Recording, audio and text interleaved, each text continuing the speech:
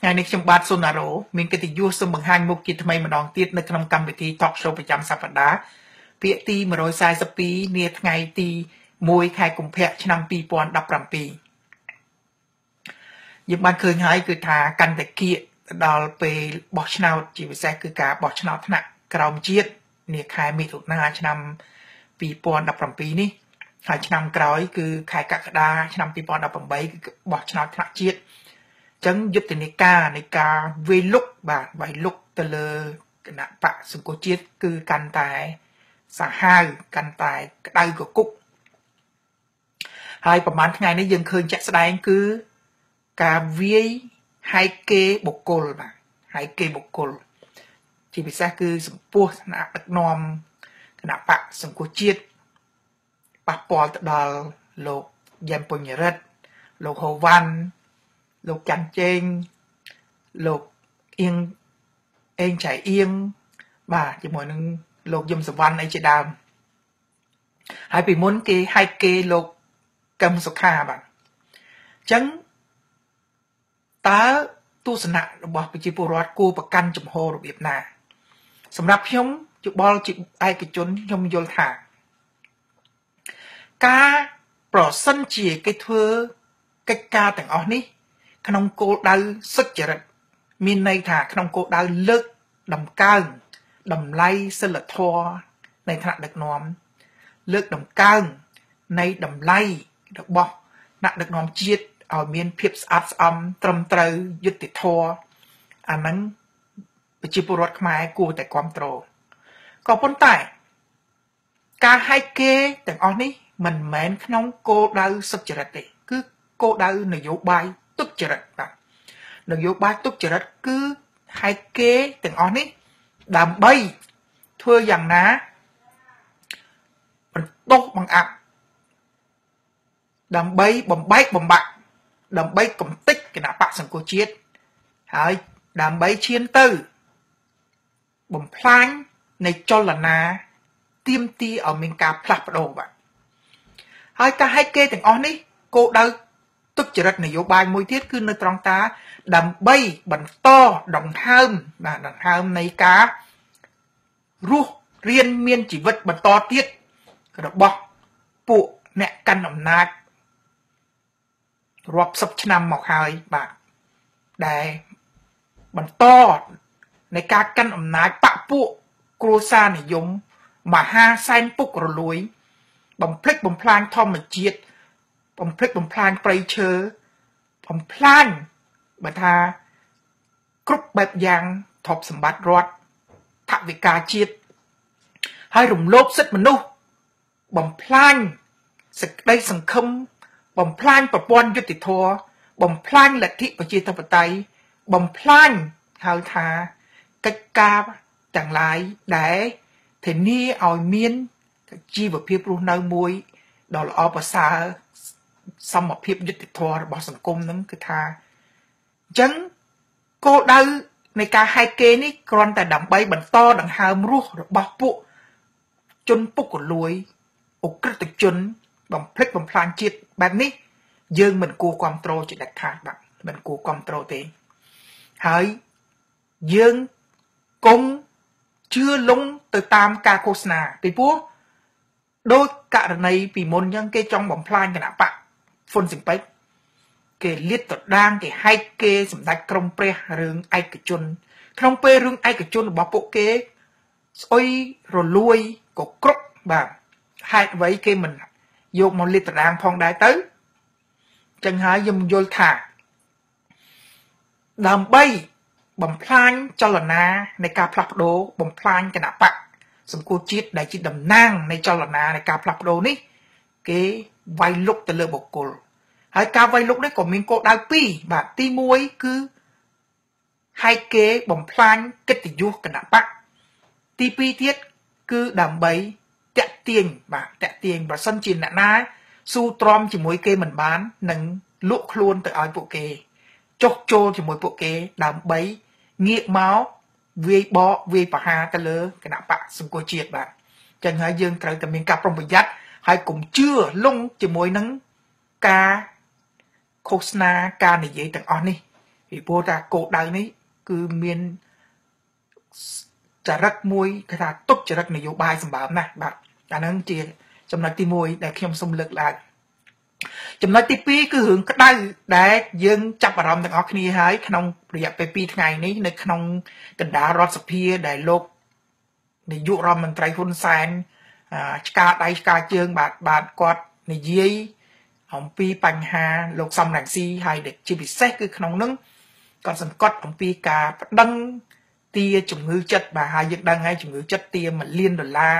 ហើយរួចហើយលោកហេងសំរិនក៏ទាប្រមាណ100លានហើយរួចហើយមានបណ្ដឹងរបស់នាងកញ្ញាមួយនោះទា25ម៉ឺនដុល្លារអាមេរិកហើយលោកហ៊ុនសែនប្រកាសទៀតថាបើសិនជា អនុវត្តសាក្រមគេនឹងរឹបអូសទ្រព្យសម្បត្តិលោកសំរងស៊ីគ្រប់បែបយ៉ាងទាំងអស់តើចំពោះចំណុចនេះលោកហ៊ុនសែនធ្វើទៅរួចអត់សម្រាប់ខ្ញុំខ្ញុំថា គឺជាអង្គើខុសច្បាប់ទាំងស្រុងបាទខុសច្បាប់ទាំងស្រុងហើយជាអង្គើមួយដែល បើសិនជាហ៊ានអនុវត្តចាត់ទុកថាជាអង្គើប្លន់ហើយមិនមែនប្លន់ដោយស្របច្បាប់ទេពេលខ្លះមានអ្នកខ្លះគេរកវិធីប្លន់គេដោយស្របច្បាប់តែអានេះជាការប្លន់ដោយខុសច្បាប់ទៅទៀតទៅលើស្របសម្បត្តិឯកជនរបស់បុគ្គលហើយហ្នឹងជារឿងមួយមានទុកមួយធ្ងន់ណាស់ថ្ងៃក្រោយនឹងមានទុកធ្ងន់ណាស់ចំពោះបញ្ហានេះហើយអ្វីខ្ញុំហ៊ានអះអាងបែបនេះមុននឹងនិយាយរឿងនេះខ្ញុំសូមបញ្ជាក់អំពីចំណុច លក្ខណៈច្បាប់បន្តិចបាទអាហ្នឹងជាទិសស្ដីនៃច្បាប់ ក្នុងពិភពលោកនេះ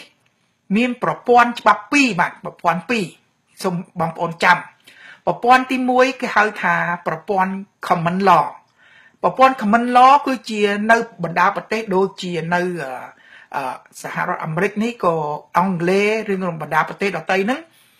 ប្រព័ន្ធ common law នេះគឺមិនសូវជាមានច្បាប់ទេចៅក្រមតុលាការ មានឆន្ទានុសិទ្ធិនៃការកាត់ក្តីដោយយោងទៅលើហេតុការជាក់ស្ដែងបាទអញ្ចឹងអត់សូវមានច្បាប់លក្ខណៈសរសេរទេគឺចៅក្រមស្ដាប់ភិក្ខីសងខាងយល់អំពីទំហំនៃការខូចខាតប៉ះពាល់ឬក៏អ្វីនោះចៅក្រមអាចយកឆន្ទានុសិទ្ធិរបស់ខ្លួន ដើម្បីទៀមទីឲ្យ គេហៅថាជនដែលបំផ្លាញគេហ្នឹងគឺថាត្រូវតែសងចំពោះនឹងជនដែលរងគ្រោះជួនកាលគេកាត់ក្តីឲ្យ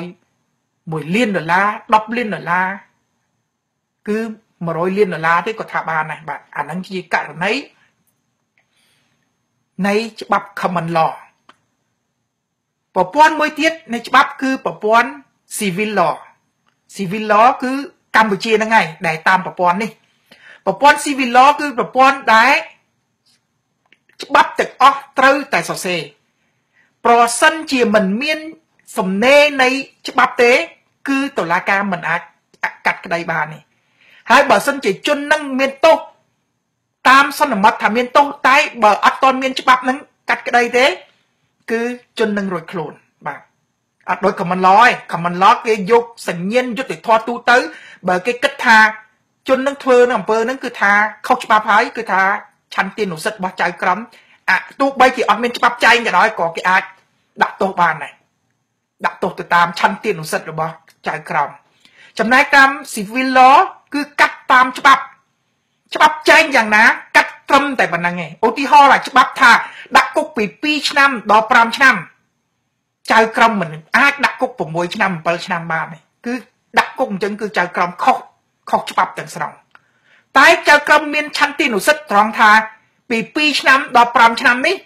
គាត់អាចអាចកាត់ឲ្យតែ2ឆ្នាំក៏បាន3ឆ្នាំក៏បាន4ឆ្នាំក៏បាន5ឆ្នាំក៏បាននឹងឆន្ទានុសិទ្ធិរបស់ចៅក្រមនៅក្នុងប្រព័ន្ធ civil law ចឹងកម្ពុជាយើងគឺតាមប្រព័ន្ធនេះប្រព័ន្ធហៅ civil law ឬក៏ហៅប្រព័ន្ធមួយទៀតហៅថាប្រព័ន្ធច្បាប់សរសេរបាទច្បាប់ដែលមានលីលាក់អក្សរត្រឹមត្រូវ បើអត់មានច្បាប់លីលាក់អក្សរទេ គឺអត់មានខុសច្បាប់ទេអញ្ចឹងដើម្បីយើងដឹងថាតើការបត់បរិហាគេរបស់លោកដែលលោកហ៊ុនសែនប្តឹងលោកសំដេងស៊ីវាយ៉ាងណានោះយើងយើងយើងយកច្បាប់មកនិយាយមកកុំឲ្យថាយើងនិយាយដោយខុសច្បាប់យើងនិយាយដល់ច្បាប់ហ្មងបាទនៅក្នុងផ្នែកទី2នៃការបត់បរិហាគេនិង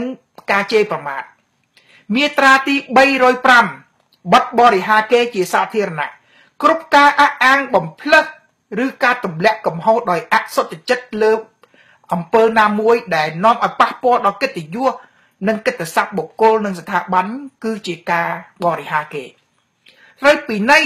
ប្រាក់ពី1សែនរៀលដល់10លានរៀលបាត់បរិហាគេដែលប្រព្រឹត្តតាមមជ្ឈបាយណាមួយដូចតទៅ តាមសម្ដីទោះជាប្រភេទណាដោយបញ្ចេញនៅទីសាធារណៈគឺក្នុងសាប្រជុំសាធារណៈទី2កម្មលិខិតឬគំនូទោះបីជាប្រភេទណាក៏ដោយដោយផ្សព្វផ្សាយទៅក្នុងចំណោមសាធារណជនឬដាក់តាំងឲ្យសាធារណជនប្រើទី3គឺការតាមគ្រប់មជ្ឈបាយទូរគមនាគមន៍សោតទោះសម្រាប់សាធារណជននឹងហើយនិយាយពីបរិហាគេចឹងច្បាប់បរិហាគេនេះអនុញ្ញាតឲ្យចៅក្រម ផាកពិន័យតែពី100000រៀលដល់10លានរៀលតែប៉ុណ្ណោះទាបបំផុត100000រៀលខ្ពស់បំផុត10លានរៀលបើចៅក្រមណាហ៊ានកាត់ក្តីឲ្យលើសពី10លានរៀល10លាន1រៀលក៏ចៅក្រមនឹងរំលោភច្បាប់ ចៅក្រមនឹងខុសច្បាប់ ចៅក្រមនឹងខុបខិតជាមួយនឹងជនដតីដើម្បីប្លន់ទ្រព្យសម្បត្តិរបស់បុគ្គលអានឹងអត់បានទេអញ្ចឹងខ្ញុំសូមឲ្យបងប្អូន មើលឲ្យច្បាស់មាត្រាទី305នេះ ដើម្បីយើងឃើញថាទោះបីអ្នកឯងប្តឹងបរិហាទៀមទាហើយឥឡូវនេះគេមិនទៀមទាលុយរៀលទេគេលៀទាសិតតែលុយដុល្លារតែម្ដងហើយច្បាប់អត់មាននិយាយរឿងលុយដុល្លារទេបាទទៀមទាឯណាប្តឹងសិតតែ1លានដុល្លារហើយអ្នកខ្លះនាងខ្លះប្តឹង250,000ដុល្លារ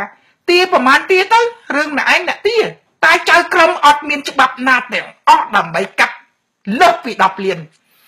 ចឹងទូបីសន្និមត់ថា លោកសំរងស៊ីចាញ់ក្តីទៅចោះចាញ់ក្តីទាំងអស់3 4ក្តីហ្នឹងចឹងហើយឲ្យចៅក្រមប្រើឆន្ទានុសិទ្ធខ្ពស់បំផុតចាស់គឺគាត់ចាញ់ត្រឹម10លានរៀលចប់អ្នកណាហ៊ានលើសពីនឹងចៅក្រមនឹងមានន័យថាខុបខិតជាមួយនឹងជនដើមបណ្ដឹងដើម្បី ធ្វើទុកបុកម្នេញគេដើម្បីប្លន់តបសម្បត្តិគេចៅក្រមនឹងនឹងមានទោសហើយដើមបណ្ដឹងនឹងក៏មានទោសដែរព្រោះគប់គិតជាមួយនឹងអង្គើខុសច្បាប់អត់មានច្បាប់ចែងចែងអត់មាន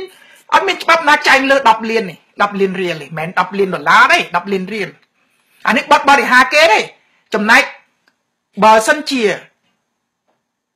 ទុកកំហុសនៃការបំផ្លាញទ្រព្យសម្បត្តិរបស់គេអានឹងចៅក្រមអាចគិតដែរ បើបំផ្លាញទ្រព្យសម្បត្តិគេស្មើនឹង30ម៉ឺនដុល្លារអានឹងត្រូវតែសង30ម៉ឺនអានឹងឆន្ទានុសិទ្ធិរបស់ចៅក្រមគេអាចគិតតែអានឹងរឿងបំផ្លាញទ្រព្យសម្បត្តិឬក៏ធ្វើឲ្យប៉ះពាល់ហៅថាអាយុជីវិតគេរបួសអីហ្នឹងអានឹងសម10ម៉ឺន20ម៉ឺនគឺគាត់1លានដុល្លារអាចសងបាន តែបើបរិហាគេ បានន័យថាការនិយាយពាក្យសម្ដីនៅតាមទីសាធារណៈអីទេខ្ពស់បំផុតអត់អាចលើស 10លានរៀលបានទេអាហ្នឹងសូមបងប្អូនឲ្យច្បាស់រឿងហ្នឹងអញ្ចឹងហើយគ្មានផ្លូវណាដែលលោកហ៊ុនសែនអាចយកលុយ1លានដុល្លារពីលោកសំរងស៊ីបានដោយស្របច្បាប់បានជាតិដាច់ខាតហើយបើសិនជាយកលុយមិនស្របច្បាប់បានន័យថាប្លន់គេបានន័យថា គឺជាអំពើខុសច្បាប់ទុច្ចរិតបាទអញ្ចឹងហើយខ្ញុំសូមបញ្ជាក់ម្ដងទៀតទោះបីដើមបណ្ដឹងដោយលោកហេងសំរិនទាសងប្រមាណរាប់រយលានរៀល